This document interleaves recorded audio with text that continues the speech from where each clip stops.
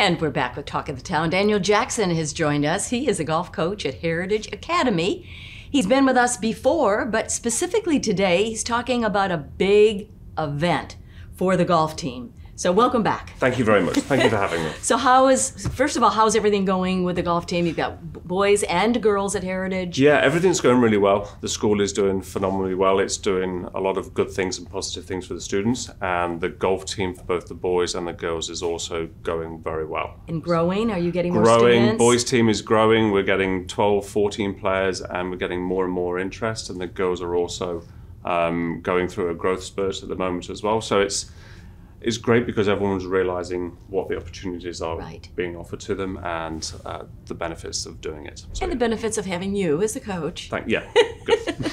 All right, let's talk about an event on March the 27th at the Country Club of Hilton Head. It's a big fundraiser for the students, the student athletes. All the dollars will be going to the athletes. Correct. So it is uh, 9:30. It is a golf tournament, if you will. Yeah, effectively, it's a golf tournament, Yeah. and the Country Club of Hilton Head have been really supportive, been amazing with the partnership that we have with them.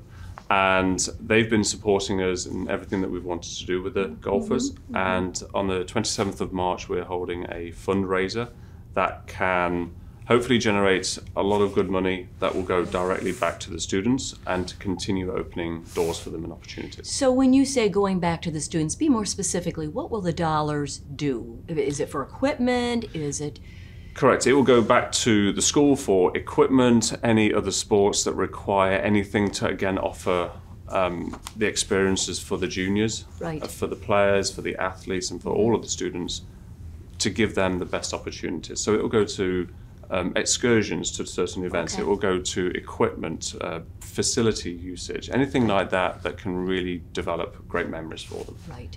All right. So if you want to be a player, Yeah. or if you want to be a sponsor, if you're a business, you can still get involved. So yeah, talk about that. Absolutely. So we're looking for players who want to come and support the juniors, who want to have the opportunity to play the country club. It's a private club. It tends to have just for membership. So it's a great opportunity for anyone outside of that membership to come and play the course. Um, there's food that's going to be on. There'll be some fun events on. We're going to do a long drive competition for the junior golfers as well. Um, so we're looking for players, and we're also looking for sponsors for the event. And so a sponsor can sponsor different things, like a hole. So talk about those different levels. So we have hole sponsors, we have a range sponsor, a beverage cart sponsor, a range cart sponsor where people can hit golf balls at the the golf cart itself. So we- we're trying to keep it very light-hearted, but a lot of enjoyment as well. So there's lots of different opportunities for businesses to sponsor. And if you go to the website, they'll give like you know how much for each, or you can just donate what you can. That's it. I would say get in contact with us um, and ask what is available at that time because we get a lot. We're getting a lot of people that are interested in helping us out, and we want to keep on growing that and kind of drive that popularity. So I would say contact us, see what we have available, and then we can keep um, growing it from there.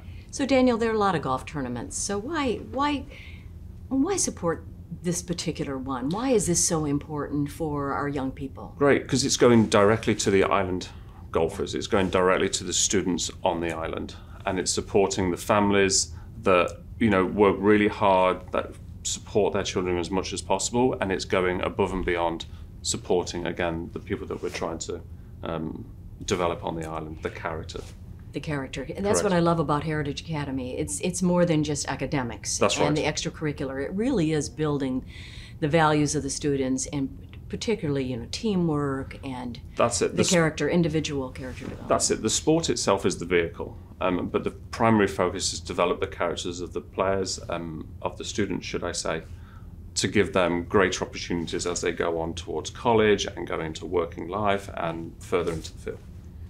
Well, you're a great leader. you're a great role model for the young people. It's good Thank to you. have you as their golf coach, Daniel Jackson. And again, the event is on March the 27th, Correct? uh, 7 or 9:30 in the morning, and you can go to the website and get all the information. Absolutely. All Yeah. right.